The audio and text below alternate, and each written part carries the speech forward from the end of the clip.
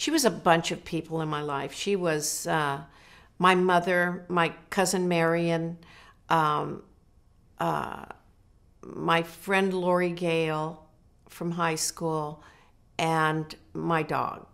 I had this dog Jojo, and he he was always like, "I really want to bite you, but."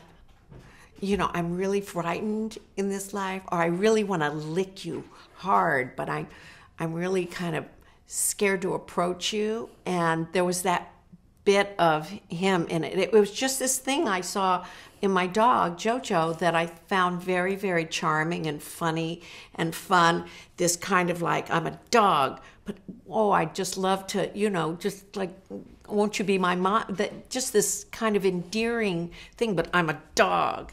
And so that back and forth that uh, there was also this other thing that uh, that was me where one minute she could be really sweet shirley and then just turn on a dime and bite your head off. And um, or, or flip out. I shouldn't say bite your head off because she would never do that but flip out have a flip out. And i love that about um, that character